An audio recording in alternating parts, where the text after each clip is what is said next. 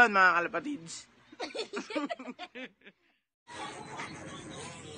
so what's up mga kalapatids? Andito na naman Biboy Love TV. So, gabi na mga kalapatids. Pero, gabi na. So, naka-flashlight lang kami. Tapos, meron nga palang pagbabago sa loft natin mga kalapatids. So, naglagay kami ng cage sa gilid. Katabi ni The Beast. Ito mga kalapatids.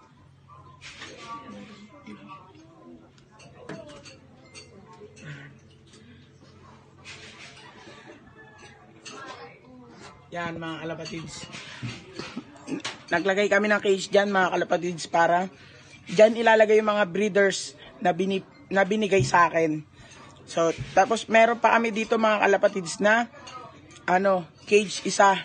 Yung naabutan ako ni Sir Alan Barcon na gumagawa ng cage. Ito yun mga kalapatids oh. Binabalutan na. Binabalutan na ng ano, kuya ko mga kalapatids para pag ano, inilagay sa ano, taas dyan, kinabit na dyan sa loft ko. Pa- pag may ano, daga mga kalapatids, hindi makakapasok. So ito mga kalapatids. Wait, akit lang ako. So yun mga kalapatids.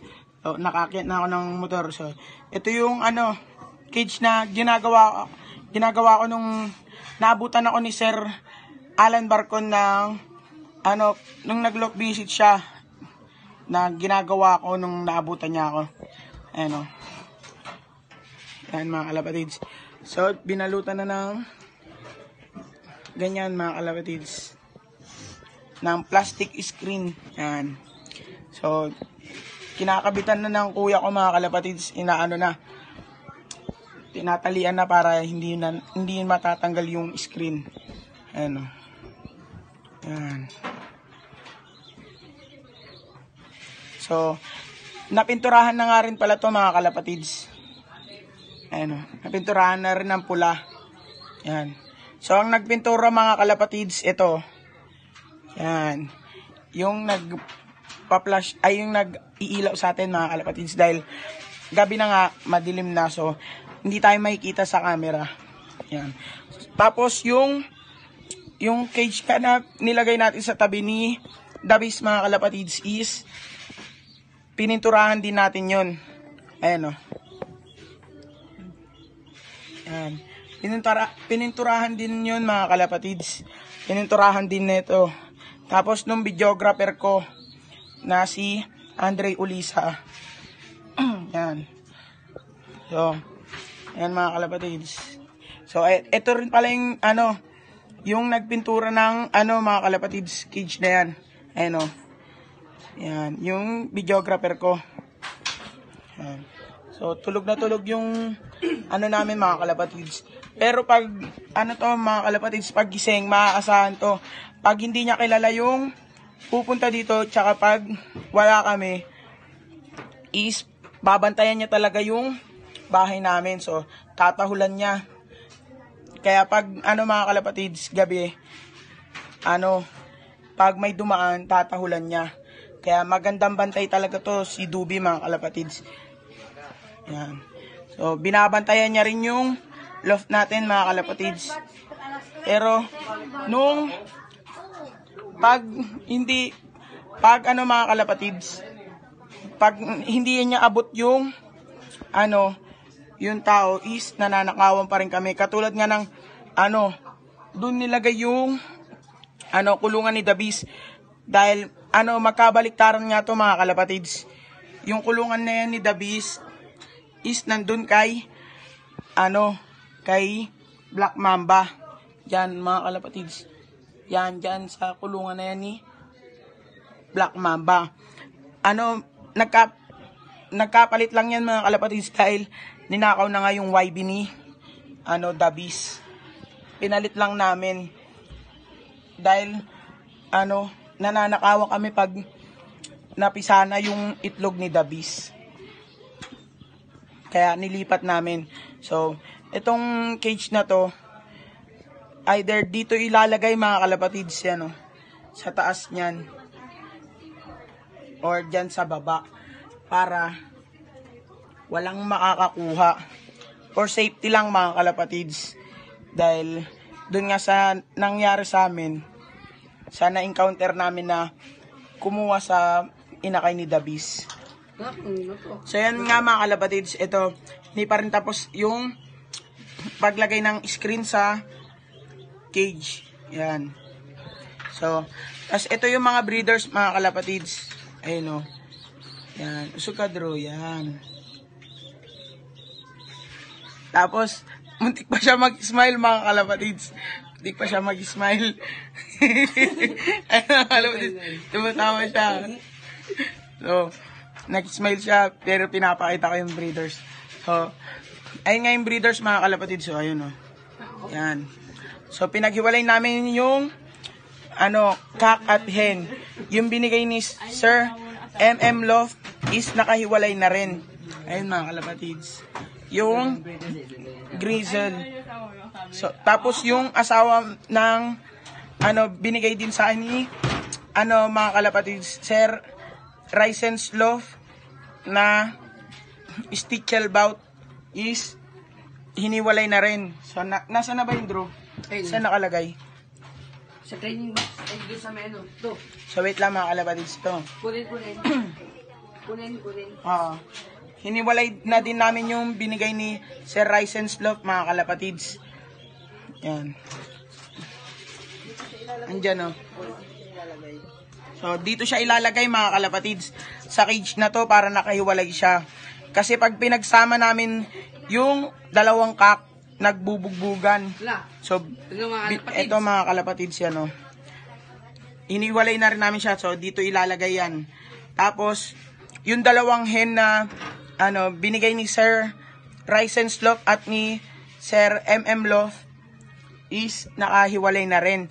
Pero pinagsama namin yon mga kalapatids dahil hindi naman sila nagbu nagbubugbugan. Yan. Andito sila mga kalapatids, oh.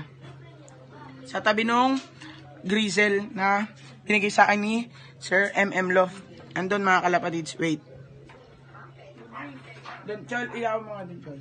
Ayun sa taas. Yan. So, yan sa tabi mga kalapatids, ayun yung dalawa, Dre. Turo mo. Yan. So, yan, tinuro nga mga kalapatids nung videographer natin kung nasan yung dalawang ano, hen natin. So, pinaghiwalay sila mga kalapatids para ano, kondisyon mga kalapatids para makapagpahinga sila. And sila, oh, yan. Para makapag, ano tayo mga kalapatids, breed. Para makapagpahinga na rin sila. Dahil sabi ni Sir Alan Barcon is, third clutch na nga nila yan, pang third clutch na nga nila yan mga kalapatids, pag isinalang pa sila. So, pinagpahinga muna namin sila. Ayan. Tapos, uy, kagidro madilim. Sorry, akin. Tapos, mga ilang ilang buwan ay mga isang buwan lang din mga kalapatids pagsasamahin na namin sila para may yung mapoproduce na anak nila mga kalapatids is papali pa rin namin dito. Yan. So hindi pa rin tapos mga kalapatids. Yan o. Yan. So, dahil wala nang strap mga kalapatids, nung, dahil nung binisita ko ni Sir Alan Barcon, ano, ginamit ko na dito sa, ano mga kalapatids, sa bakal. Dahil sira-sira nga rin yung, ano neto mga kalapatids, bakal. Nilagay ko na sa, ano mga kalapatids, sa pinto, yan, ito mga kalapatids, nakulayan eh, kaya hindi masyado makikita ito mga kalapatids, yan. And mga kalapatids, at saka it, wait, hanap pa kami mga kalapatids. Ito pa mga kalapatids, yan. Yan. Yung tinuturo mga kalapatids. Yan. Naubos na nga dyan mga kalapatids. Kaya, ang pinantali na lang dito sa screen natin mga kalapatids is yarn. Ito mga kalapatids. eh. Yan. Yung nakikita nyo dilaw na yan mga kalapatids, ayun yung yarn. Dahil wala na nga masyadong Gunggong! Bariling kita sa mukha eh. ay wala nang ano mga kalapatids strap yung mahirap matanggal mga kalapatids na ano plastic na ano parang tali ayan mga kalapatids oh. ano na lang yarn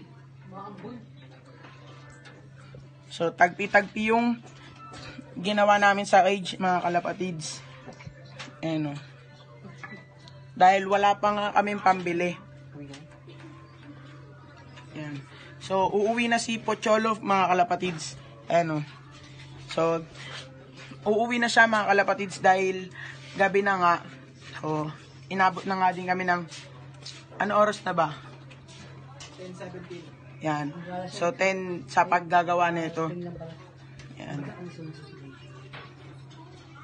So, yung mga ano natin mga kalapatids, kal- kalapatis, nagpapahinga na. Ayun sila oh. Ayan, nagpapahinga na sila dyan. Sila Dabi, sila ano, Black Mamba, sila Estapa. So, si Bato nandun sa kanya, ito. Yan. Ang kulay ng pinintura namin pala dito mga kalapatids, pula. Yan. Yung pambakal talaga. Kaya namin pininturahan to mga kalapatids para ano, hindi kalawangin. Dahil may kalakalawang na nga rin to mga kalapatids.